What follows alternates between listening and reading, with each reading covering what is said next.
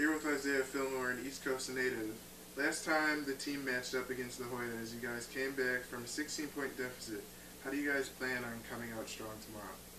Well, in this game, uh, you know, we've been talking all week about coming out and being ready to play. I feel like last time we weren't really mentally or physically ready to play, and uh, you know they just they got out to an early start, and we really didn't play to, play uh, well together as a team until late. Uh, so we definitely just need to come out and be mentally focused.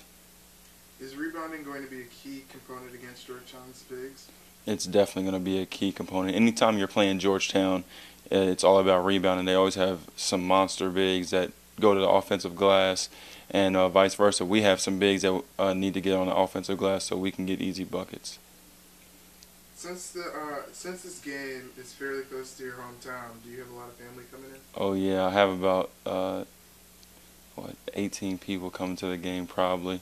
Uh, you know, this is one of the one of the last East Coast games, and you know it's my senior year, so everybody that everybody that I know wants to come to this game tomorrow, and they're ready and they're excited.